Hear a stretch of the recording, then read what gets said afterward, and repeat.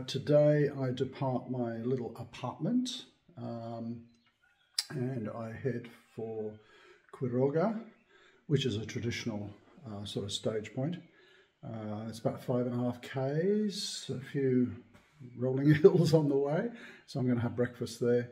And then I've got a fairly big hill to get over. I think it's two or three hundred meter ascent, uh, and then to A Labrada, Alabrada this afternoon. I'm going to stay at the uh, Hostal Pasita, I think it's called, Pension Pasita, which gets good reviews. Didn't have a bad night's sleep here, but I tell you what, you worry about snoring pilgrims. Um, I had cockerels going all night and frogs. So I think I got to sleep about one o'clock. So um, don't complain about snoring pilgrims. There's a lot worse out there. Let's get going. I'm departing Soldon at 6.45. So up on the hill there is the little apartments and the owner's house down below. It was actually very comfortable apart from the croaking frogs. Um, there is a highway up there but you don't hear it. You do hear these guys over here though. I think there are two cockerels competing. Oh, and, and the geese. You can't complain about that. You're in the country.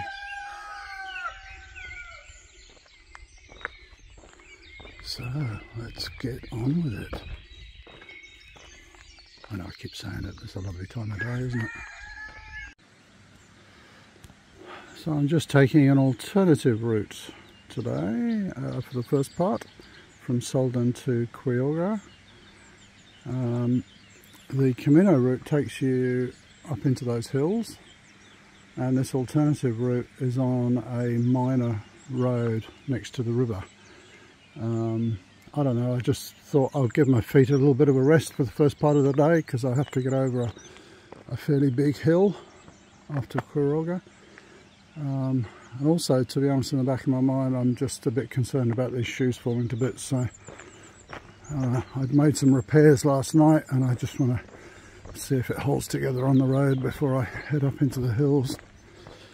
So other than that, all good. And uh, I had a look on the various um, apps and so on last night. I think I can find a cafe in the next town to get breakfast. That's always a good thing. I actually find Google Maps quite good for that. I've used that a lot. So it's a little bit more road walking coming out of Quiroga. Just in, coming into Ispan Dariz and looking at the track on Maps Me we follow the river around, let me point around this bend. And then over that side we start going up. Up up up. Probably a 300 meter ascent there's vehicles up there on that hill I wonder what they are just seen a couple put in center screen hard to make out what they are from this distance I looked at this and my first thought was geez what made that nest. but they've just been doing some uh, forestry work, I think. So we're starting the ascent for today. Uh, and it looks like it's going to be a bit like yesterday on a nice sort of forest road. It's not, you know, overall we're going up about 300 metres, but if it's gentle like this, then that's, you know, a lot easier. We've got up a bit already. My judging heights is about as good as my judging distances, so um, we're probably only. I tend to think in feet. It was always drummed into me in a previous life what 300 feet looks like, because that's the height your reserve parachute works. So this isn't 300 above those buildings yet. so we're probably only up about 50 metres. There's some pretty impressive mountains here. So I've just checked in with Maps Me and the track from Gronze. Just trying to orientate myself where we're going. So along this road, tracking along the side of the ridge, and then I think we go to the right behind that ridge and through that saddle.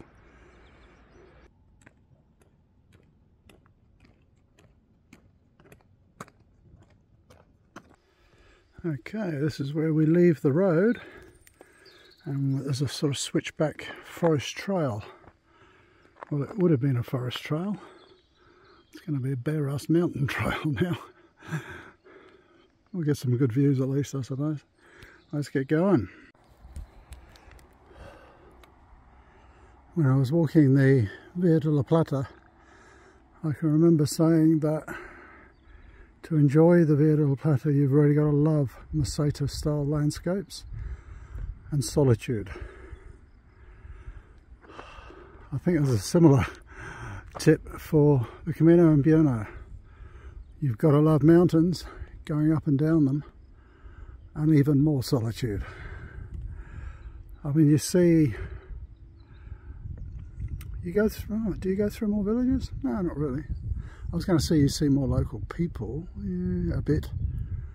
More pilgrims? No, I think I saw more on the Via de la Plata. I haven't walked with anyone since leaving Ponferrada.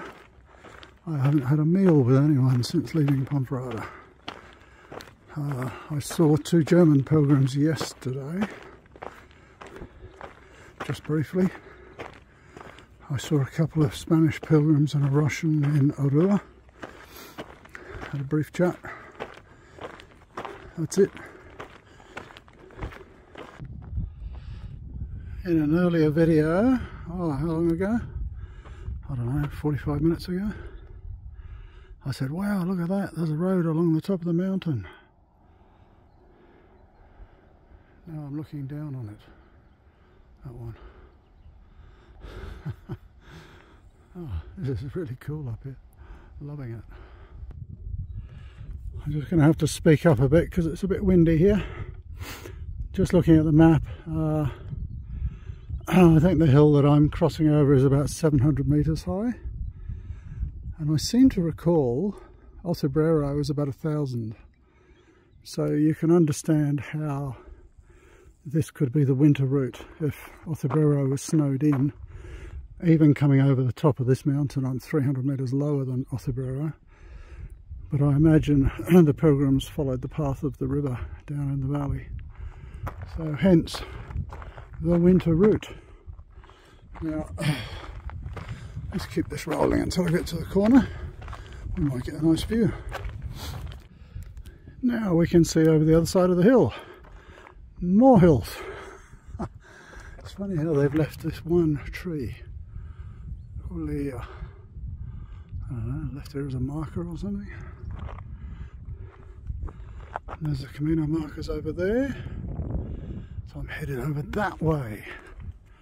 Oh, I can see the I can see the path going around the side of that ridge line over the next saddle. Maybe we'll see the destination from there. That's always cool. So from here we start the descent. Still haven't had my picnic. I'll stop somewhere here in the trees where there's a bit of shade and sure enough it's the lower track. And going to that middle point on that saddle just zoom in I'll zoom right in. I remember seeing in one of the guides it talked about like a five point track junction or something. So I think from here I've got about six k's to go which is nice but downhill oh that could take me three hours depending how steep it is but this looks good this is a nice grade. So you might wonder why I haven't had my picnic yet. Well, picking a spot to sit on these remote caminos is a very detailed task and it's not something you want to get wrong. I am kind of teasing, but I, I overthink everything.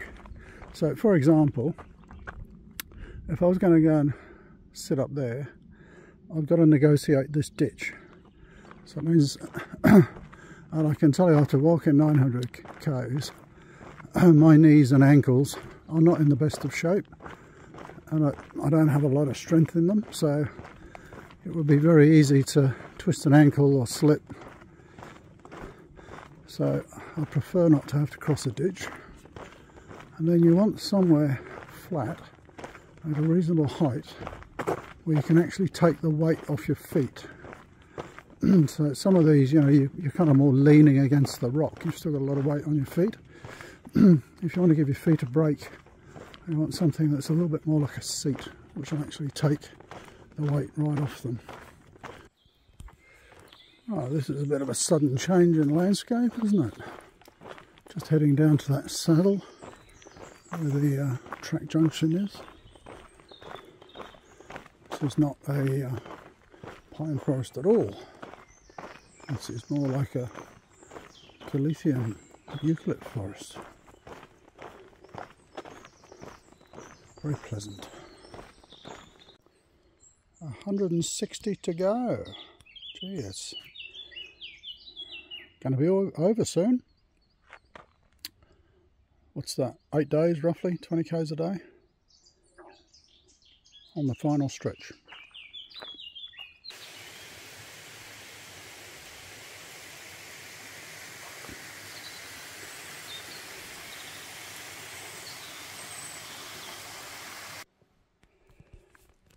Well, here we are coming to the track junction.